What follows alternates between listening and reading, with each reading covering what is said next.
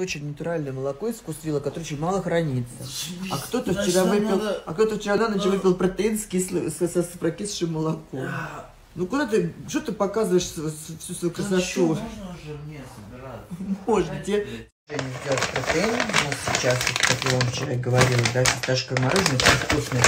А, я ему делаю два скупа протеина, себе один скуп. Он вчера ночью глупости сделал протеин, ну как бы у меня безлактозное молоко, у него обычное.